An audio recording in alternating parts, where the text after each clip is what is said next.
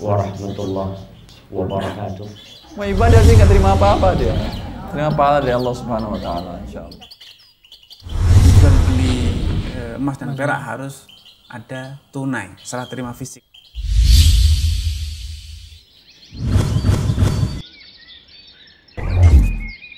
Assalamualaikum warahmatullahi wabarakatuh. Innal hamdalillah نحمده ونستعينه ونستغفره ونستهديه ونتوب إليه. أشهد أن لا إله إلا الله وحده لا شريك له. وأشهد أن محمدا عبده ورسوله. أرسله بين يدي الساعة بشيرا ونذيرا.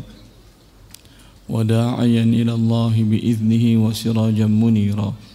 صلوات ربي وسلامه عليه وعلى آله وصحبه ومن اهتدى بهديه إلى يوم الدين وبعد تفضل يا شيخ Bismillah. Bab kelima bertaubat dari harta haram. Eh, bab Bagi yang terakhir memiliki ini. buku cetak, cetakan terakhir halaman 599.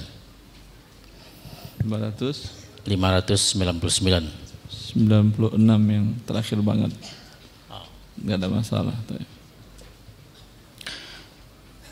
Poin satu, anjuran untuk segera bertaubat. Dari uraian-uraian tentang harta haram pada bab-bab sebelumnya, sangat besar kemungkinan sebagian harta yang kita miliki saat ini termasuk harta haram yang terkadang disebabkan oleh ketidaktahuan kita akan hukum agama tentang muamalat yang kita lakukan untuk mendapatkan harta tersebut. Dan terkadang juga memang karena kekhilafan. Sekalipun tahu bahwa itu adalah haram. Yang pada dasarnya manusia memang sering berbuat khilaf. Sesuai dengan sabda Nabi sallallahu alaihi wasallam Sallallahu alaihi wasallam.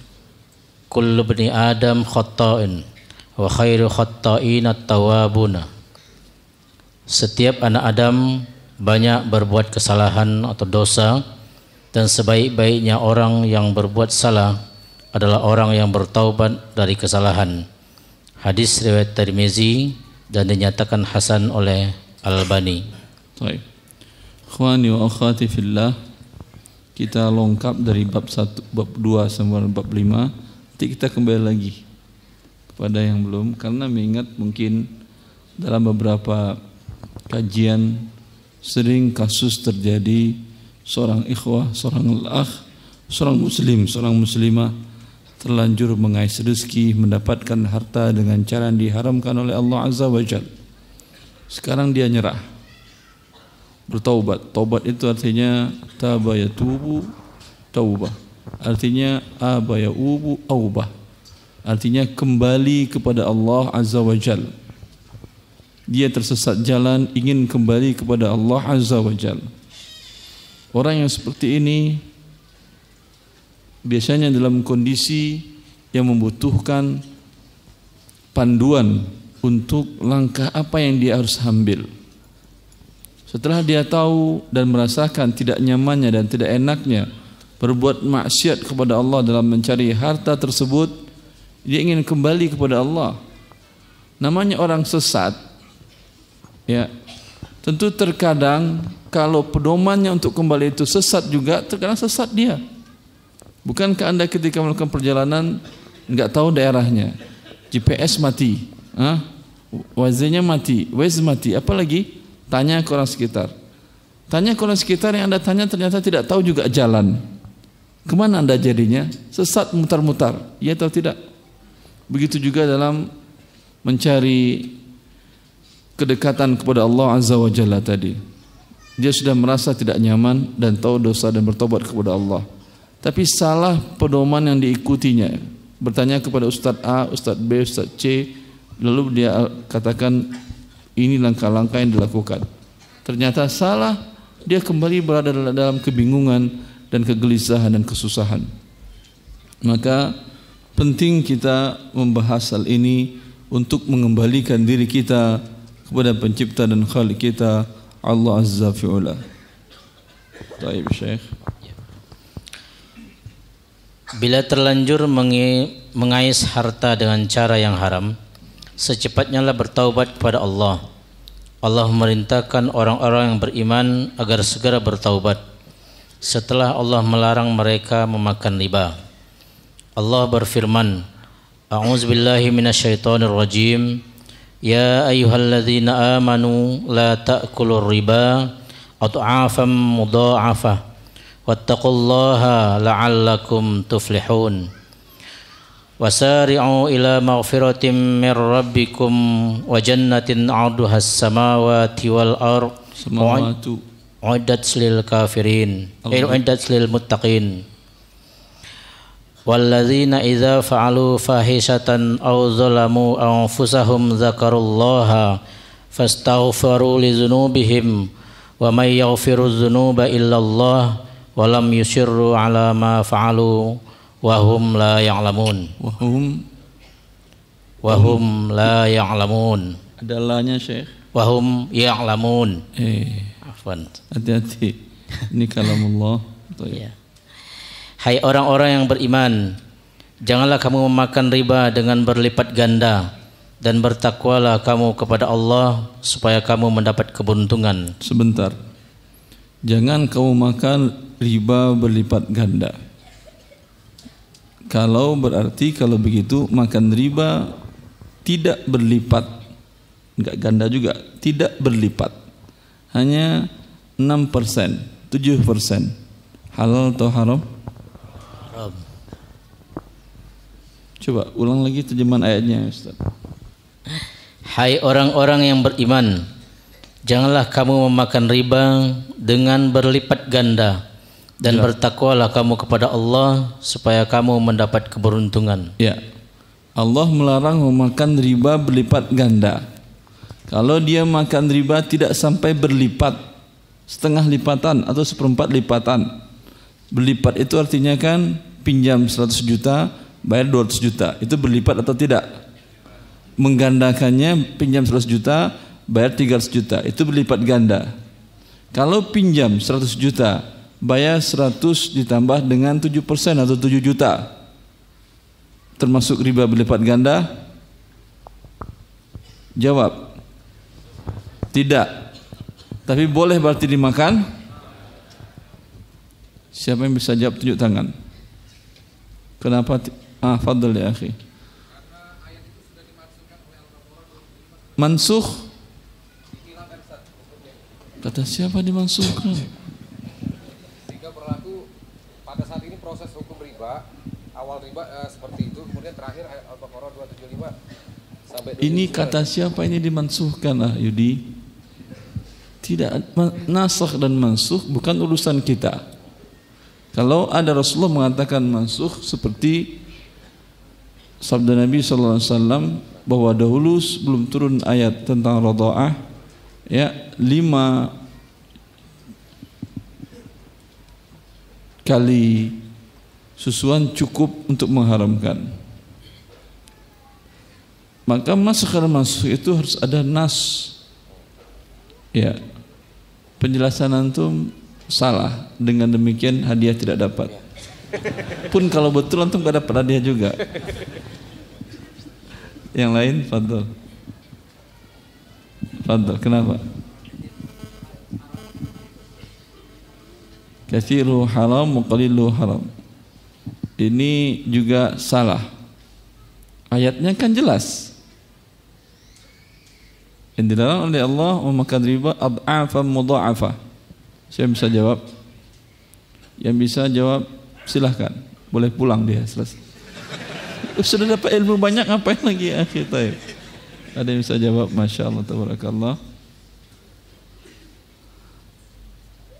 Pelajari usul fikih dengan baik Kalau tidak biasanya Orang menghalalkan bunga bank dengan ayat ini Iya atau tidak? Mereka mengatakan enam bisa deposito bunganya berapa persen? 13 persen, 6 persen, 7 persen, 13 persen tertinggi. Itu cukup sebagai penutup inflasi saja kata dia. Yang diaramkan Al-Quran kan yang berlipat ganda. Ini tidak sampai satu lipatan. Taib. Di dalam ilmu usul fiqh ada dinamakan dengan mafhum, ada dinamakan dengan mantuk. Dalalatul lafzi ala ma huwa alaihi. Tunjukkan lafaz makna dari sebuah ucapan sesuai dengan makna itu. Ada makna dari lafaz dari sebuah lafaz bukan maknanya itu makna yang tersiratnya. Dalam bahasa Indonesia apa namanya? Ini dinamakan dengan mafhum. Di sini Allah melarang atau tidak memakan riba yang sedikit? Maaf, di sini Allah membolehkan atau tidak memakan riba yang sedikit? Hah? Tidak, yang dilarang Allah hanya makan riba yang berlipat ganda. Kalau riba sedikit bagaimana ya Allah? Tidak ada keterangan dilarang di sini. Faham? Juga tidak ada keterangan membolehkan di sini. Ada keterangan membolehkan di sini? Hah? Ada? Tidak. Di dalam ayat yang lain dalam surat Al-Baqarah Allah mengatakan wa in tubtum falakum ru'usu amwalikum la tazlimuna wa la. Jika kalian bertobat untuk kalian hanya pokok harta kalian saja. Artinya A minjamkan 100 juta. A sebelumnya dia ngambil 6%, 7%, 8%, sekian persen. Lalu di si A ini bertobat. Yang 7 persen, 1 persen, 0,0 sekian persen dari pertambahan uangnya tadi, dari pinjaman tadi semuanya haram kata Allah. Dalam ayat yang lain. Ini mantuk. Ya atau tidak? Kata Allah, jika kalian bertobat untuk kalian hanya pokok harta kalian. Berarti yang halal hanya pokok. Sisa ribanya ini mau 0, sekian 0, sekian tidak sampai se, seper seratus lipatan Haram atau tidak dalam ayat ini? Haram. Ini mantuk, ini mafhum. Tadi mafhum dalam ayat tadi hanya dilarang memakan riba berlipat ganda. Memakan riba yang tidak sampai berlipat ganda boleh atau tidak dalam ayat tadi? Tidak di, bukan boleh, tidak dijelaskan. Paham antum? Tidak dijelaskan.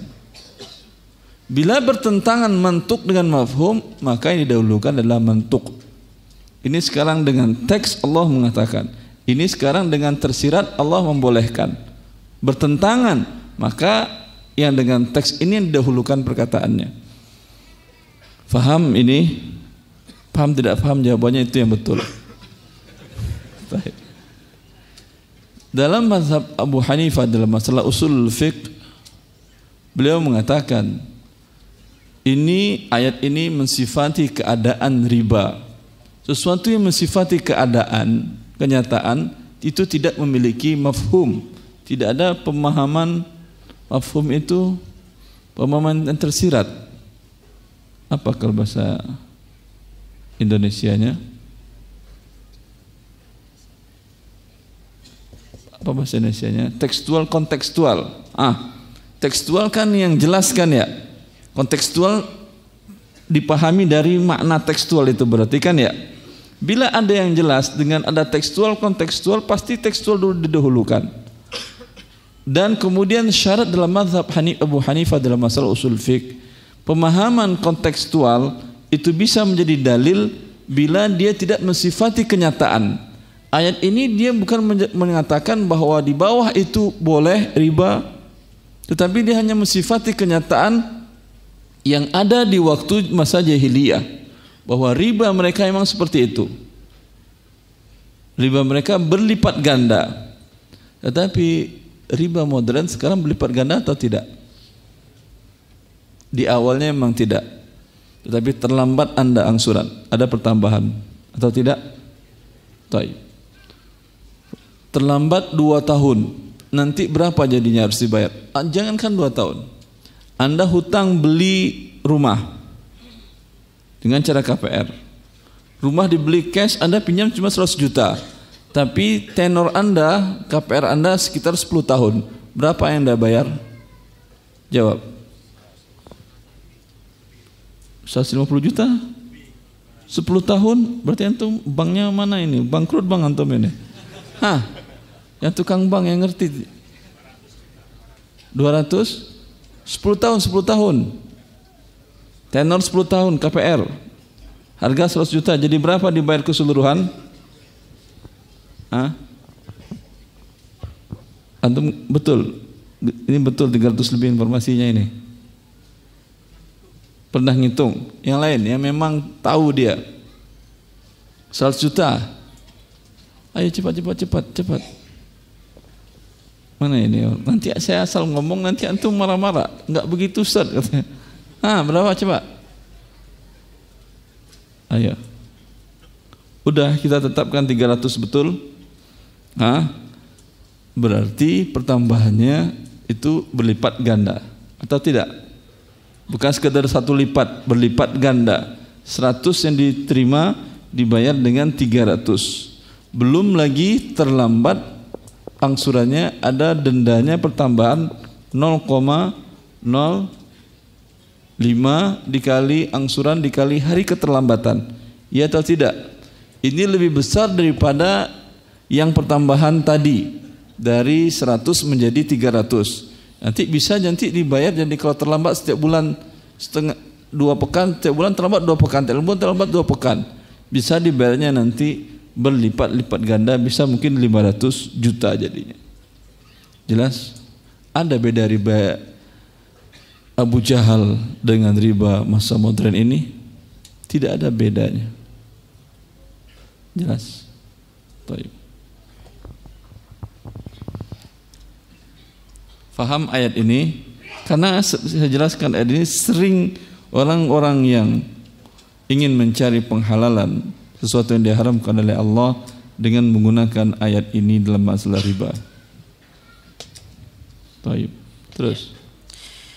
Dan bersegeralah kamu kepada ampunan dari Tuhanmu dan kepada surga yang luasnya seluas langit dan bumi yang disediakan untuk orang-orang yang bertakwa yaitu sampai situ ayat bertakwa. Hmm? Yang ketiga, ayat yang ketiga, dan juga orang-orang yang apabila mengerjakan perbuatan keji atau dosa besar yang merugikan orang lain seperti riba dan zina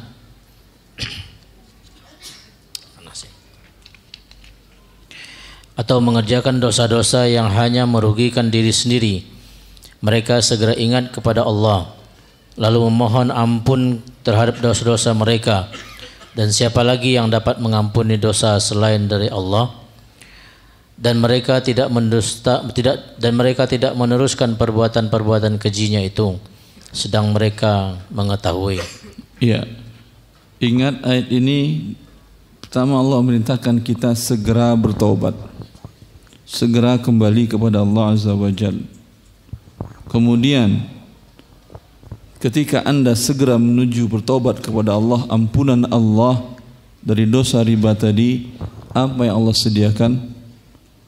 Segeralah menuju ampunan Rabbmu dan bersegeralah kepada surga yang luasnya seluas langit dan bumi. Yang kemudian Allah cap orang-orang yang segera bertobat tadi dengan orang-orang yang bertakwa. Hah? maka subhanallah sebagian orang yang tidak pernah terjatuh dosa riba ya berbeda mungkin rasa perasaan dengan orang yang pernah bergulat dengan riba kemudian dia bertobat karena dengan pertobatannya tadi berarti dia menuju ampunan Allah yang berarti dia kata Allah wa jannatin.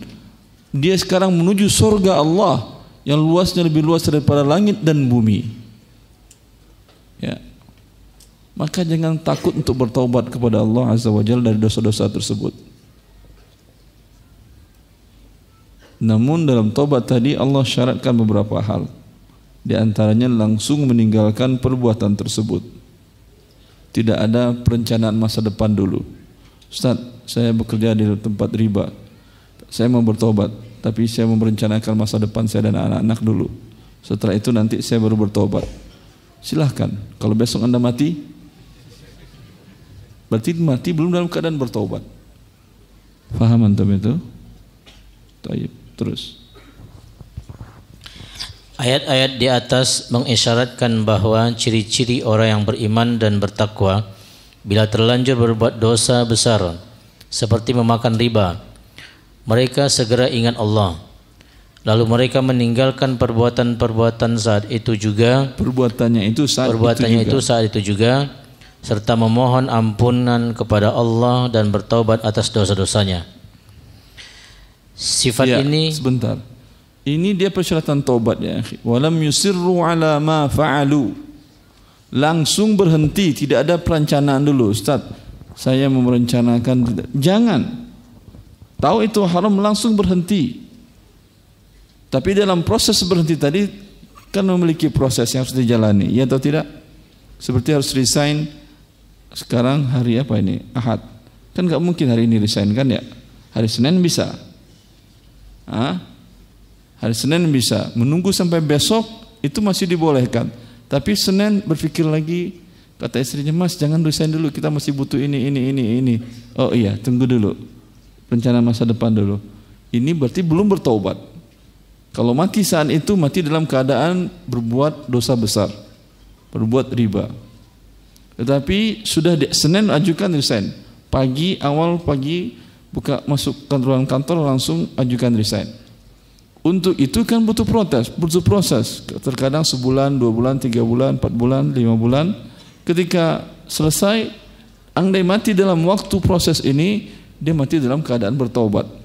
Seperti kisah orang yang membunuh 100 orang kemudian untuk persyaratan sempurnaan taubatnya dia harus berpindah ke kota yang di sana orang-orang yang beribadah kepada Allah dalam perjalanan ini dia wafat tarik menarik antara malaikat yang bawanya ke surga dan ke neraka kemudian Allah lipat bumi untuk agar dia dekat ke kota yang baik dan malaikat yang membawanya ke surga menarik dia lihat gara-gara satu orang yang bertaubat Hah? Titik koordinat bumi berubah. Apa arti dilipat? Tentu lebih mendekat. Berubah nggak titik koordinat bumi pada waktu itu? Berubah. Kalau Allah yang melipat, kata Allah ya dilipat berarti. Berubah segalanya. Paham antum itu? Demi seorang hamba yang dicintai oleh Allah yang sedang bertobat. Walaupun dia belum sampai ke tempat kesempurnaan pertobatannya tadi. Maka itu yang dimaksud. Tetapi perencanaan ya tidak ada dalam bertobat. Karena anda dalam maksiat kepada Allah Azza wa Jal. Dan juga tidak ada bertahap.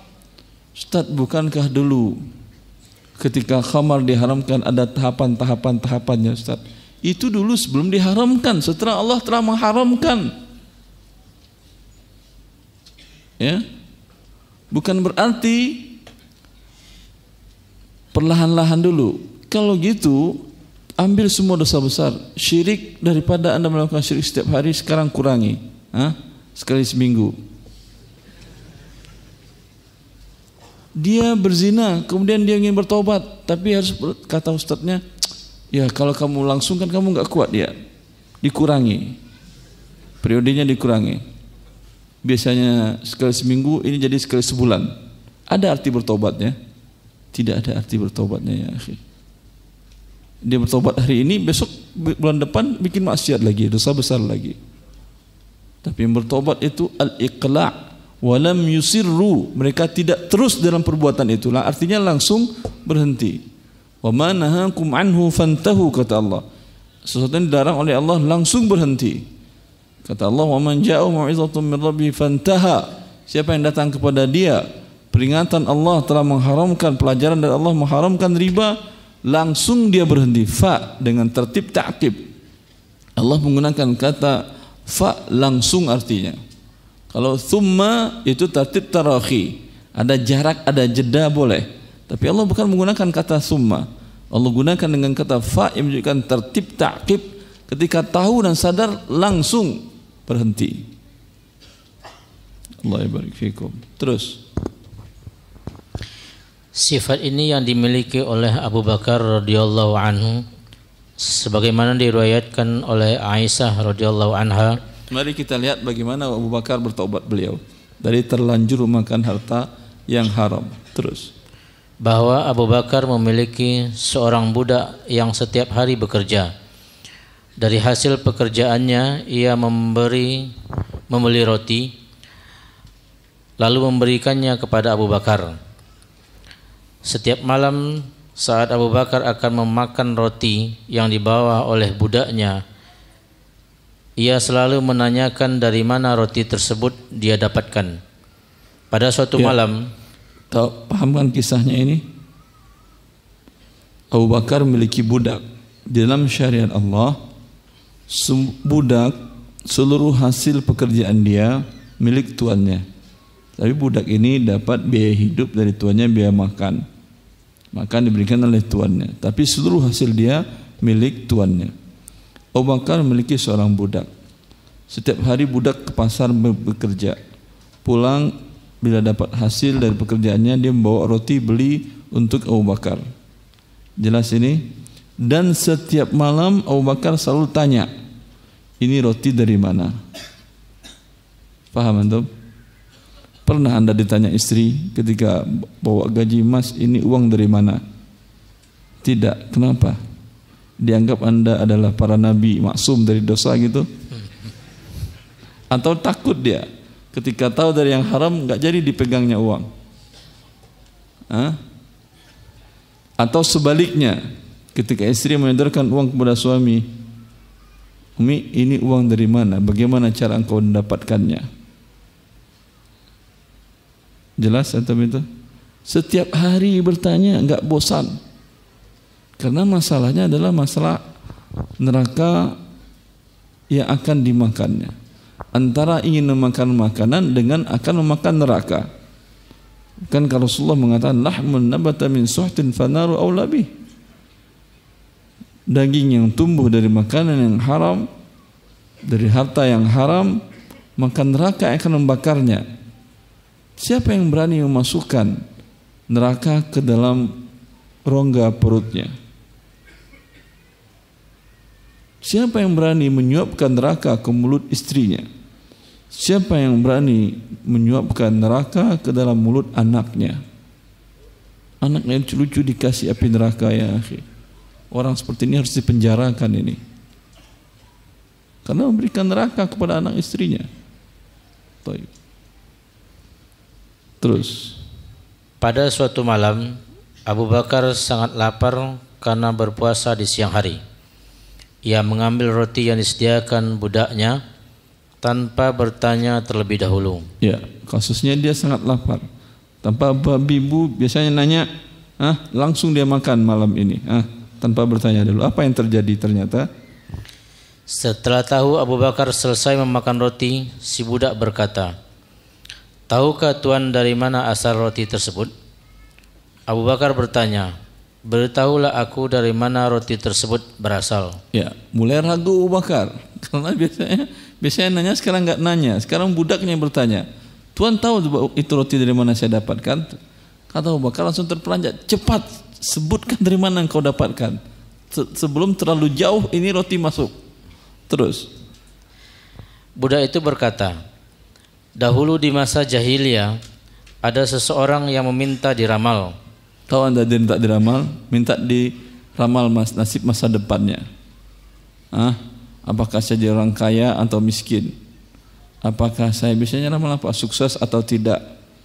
Terus apa untungnya anda kalau tahu? Minta dirubah jalan nasibnya, kan begitu? Oh kamu nasib kamu ke depannya jadi miskin, bisa dirubah? Oh bisa, maharnya A B C D E F. Taib. Lalu Bila aku- sudah tahu ini nggak ada untungnya datang ke tukang ramal. Iya atau tidak? Tahu anda masa depan anda begitu, hanya membuat anda takut hidup. Kemudian dia mungkin bisa merubah. Tidak ada orang yang bisa merubah jalan hidupnya. Kalau ada orang yang bisa merubah jalan hidupnya, berarti dia Tuhan sudah. Buktinya apa? Tidak ada satu pun yang ingin dapat bencana dalam kehidupan dan kesusahan, kekurangan. Tetapi kita dapati sehari-hari kita susah, sakit, ini segala macam. Berarti hidup kita bukan kita yang mengatur, ada yang mengatur. Kita hanya berusaha saja. Allah taala. Fadal ya akhi. Lalu aku meramalnya, Ya, padahal aku tidak bisa meramal. ya, paham antum ini? Tukang ramal apa namanya? KW. Taib. Aku hanya menipu dia saja. Taib. kebetulan tadi saya bertemu dengan dia. Paham antum itu? Kata dia ada orang minta diramal. Padahal aku nggak bisa ngeramal, tapi dia minta juga ya udah aku berikan aja jasa ramalan. Ya. Lalu dia nggak bayar uang ramalannya. Pergi begitu saja. Hah? Ternyata yang aku ramalkan betul. Dia tentu ingat berutang budi ke aku kan ya. Tadi saya bertemu dengan dia Abu Bakar di pasar dan dia bayar uang ramalnya tadi. Aku beli roti. Terus dan dia memberikan upah ramalan di masa jahiliyah dulu. Lalu dengan uang itu aku membeli roti ini. Ah, taib. Sekarang kira-kira apa yang akan dilakukan Abu Bakar? Ah, ya. lihat. Semerta-merta Abu apa? Bakar memasuk serta-merta ya, serta-merta Abu Bakar masukkan jarinya ke dalam kerongkongannya dan memuntahkan seluruh isi perutnya. Walam yusirru ala ma fa'alu. Ya, Andai itu masih di tangan pasti akan dibuang oleh Abu Bakar. Sekarang sudah terlanjur masuk, apa boleh buat pasti juga akan dikeluarkan dia. Dia masukkan jemarinya ke dalam kerongkongannya agar memuntahkan makanan tersebut. Terus lalu budak lalu budak tersebut menceritakan hal-hal tersebut kepada Nabi Shallallahu alaihi wasallam. Maka Nabi Shallallahu alaihi wasallam bersabda, "Hi, engkau Ih, telah membotongi membohongi Ih, marah Bakar. hatinya nih akhi Ih, itu kan marah itu ini maksudnya marah. Eh ngardik begitu terus Ih, engkau telah membohongi Abu Bakar. Ya, betul. Celakalah engkau. Ah, masya Allah, bagus sekarang. Sesungguhnya Abu Bakar tidak mau memasukkan sesuatu ke dalam perutnya kecuali yang baik. Ya. Hadis riwayat Bukhari dan Ahmad lafaz hadis ini berdasarkan riwayat Ahmad. Ya. Dalam riwayat yang lain sampai Aisyah mengatakan, "Irham nafsaka ya abi." Wahai bapakku Abu Bakar, sudah cukup kasihani dirimu. Lalu jawab oleh Abu Bakar, "Tidak wahai bunayyati, anakku. Andai aku tahu bahwa nyawaku akan terbang dengan makanan yang haram tadi, silahkan keluar sekalian." Ya. Itu arti bertaubat. Cuman masalah sepotong roti. Bagaimana bertobat dari rumah? Hah? Dari kendaraan roda empat? Dari uang uang pesangon sekian atau uang deposito sekian dan lain-lainnya. Baik.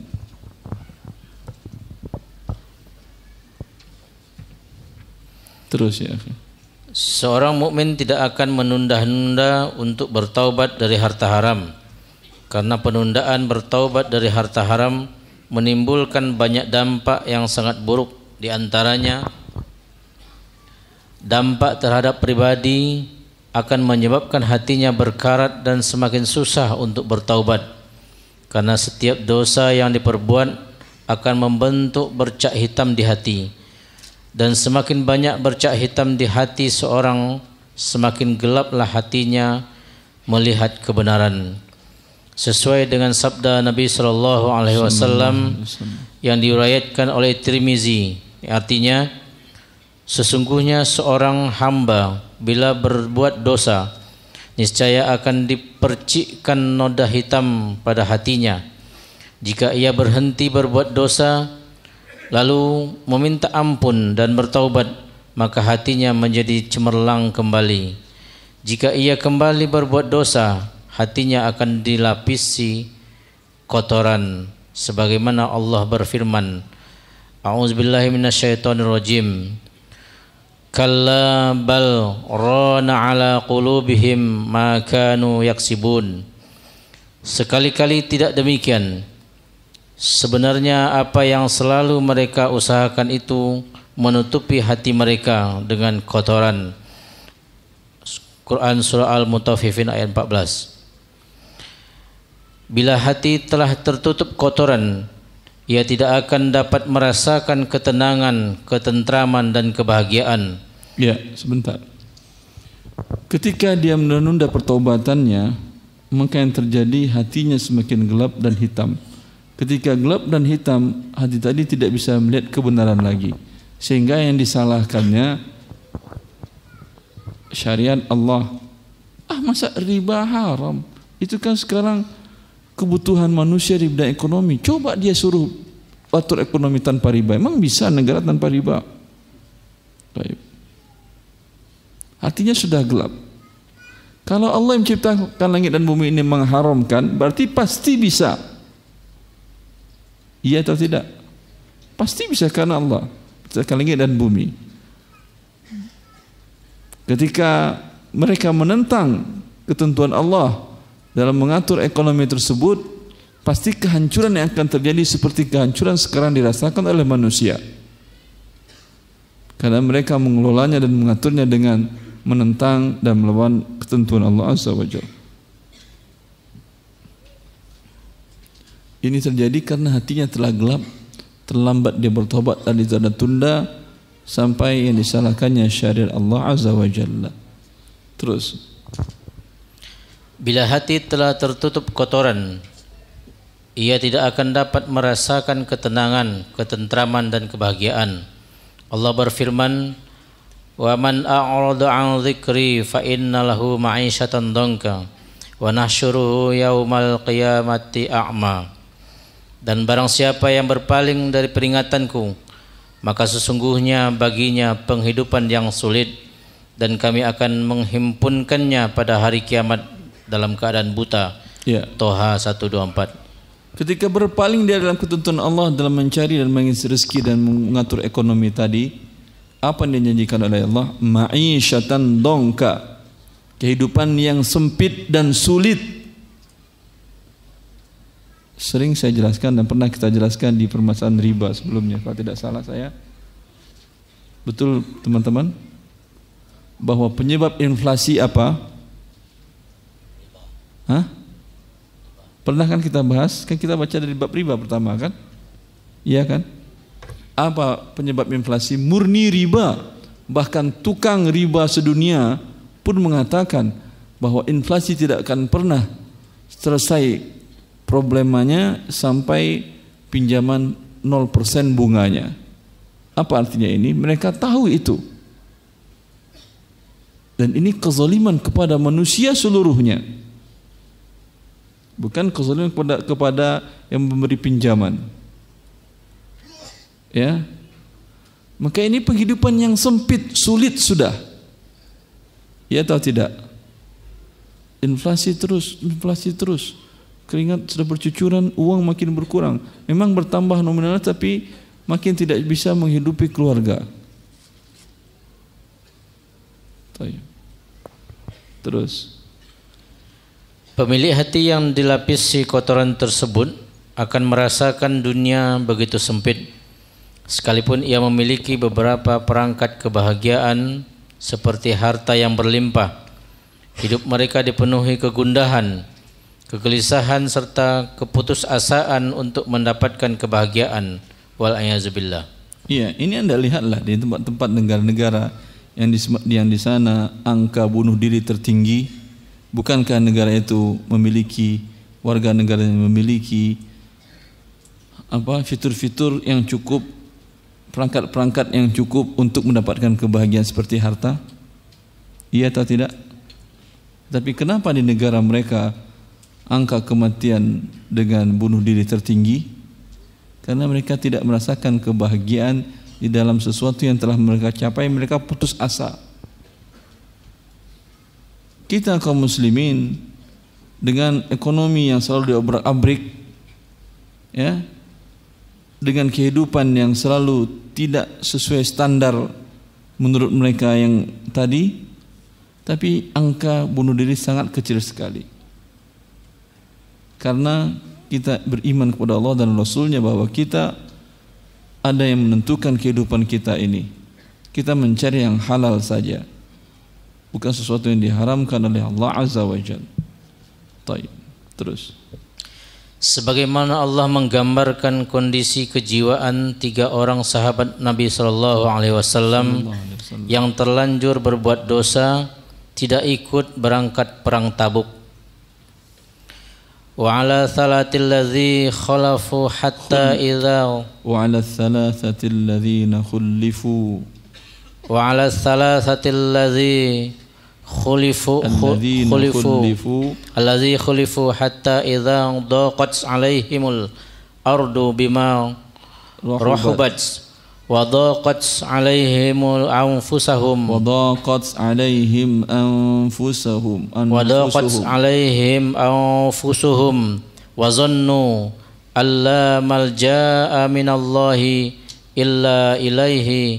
ثم تاب عليهم. liyatubu. Liyatubu innallaha huwat tawwabur rahim. Ya. Dan terhadap tiga orang yang ditangguhkan permintaan taubat mereka. Penerimaan taubat mereka. Penerimaan taubat mereka. Hingga apabila bumi telah menjadi sempit bagi mereka padahal bumi itu luas dan jiwa mereka pun telah sempit pula rasanya oleh mereka serta mereka telah mengetahui bahwa tidak ada tempat lari dari siksa Allah melainkan kepadanya saja. Kemudian Allah menerima taubat mereka agar mereka tetap dalam taubatnya. Sesungguhnya Allah yang maha penerima taubat lagi maha penyayang. At-Taubah 118 iya tiga orang sahabat Rasulullah sallallahu alaihi wasallam yang tidak ikut perang Tabuk mereka sangat merasakan tidak nyamannya dalam perbuatan bermaksiat kepada Allah Azza wa Jalla tidak ikut perang tadi. Sampai Allah gambarkan kondisi jiwa mereka itu kata Allah wadaqat alaihimul ardu bima rahubat. Wadaqat alaihim anfusuhum. Bumi yang begitu besar apalagi di masa itu bumi yang begitu luas mereka rasakan sempit di dadanya sudah. Ya. Sampai jiwa mereka aku merasa sempit. Mereka ingin bunuh diri bala bukankah setelah 50 hari tobat mereka belum diterima salah seorang di antara mereka berdiri di atas atap rumahnya rasanya ingin menjatuhkan dirinya. Artinya dia ingin bunuh diri sudah.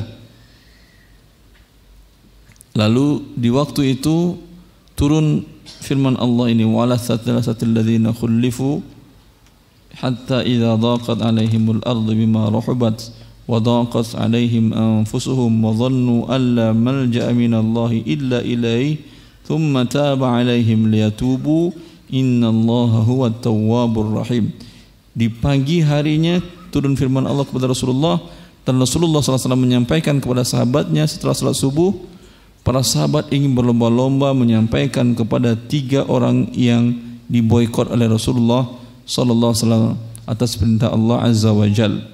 Sampai salah seorang di antara mereka ingin menjatuhkan diri dari atap rumahnya sudah.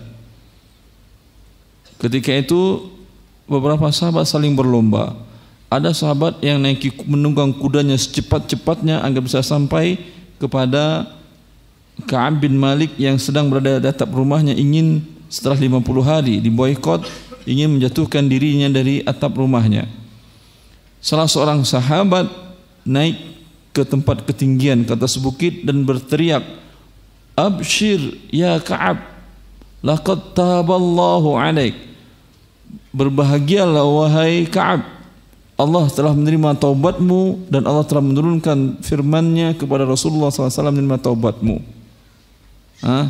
Sehingga dijelaskan dalam hadis itu sabaqa as-sautu al-farasa. Suara lebih dulu sampai daripada kuda. Online, artinya pakai via telepon dia nyampe ke sana. Allah telah menerima taubatmu. Ya. Ini gambaran orang-orang yang terlanjur berbuat dosa. Siapa pun dia, mau muslim mau muslim apalagi non muslim pun akan merasakan demikian. Buktinya di negara-negara kafir itu kenapa mereka bunuh diri? Karena mereka merasa dunia sempit. Kenapa mereka dunia merasa dunia sempit? Karena mereka berpaling dari peringatan Allah Azza wa Jal. Sehingga mereka merasakan kehidupan mereka begitu sangat sempitnya. Yang kafir pun dapat sisaan di dunia sebelum di akhirat. Cukup akhi atau? Ah, cukup. Subhanakallah bihamdika. Assalamualaikum warahmatullahi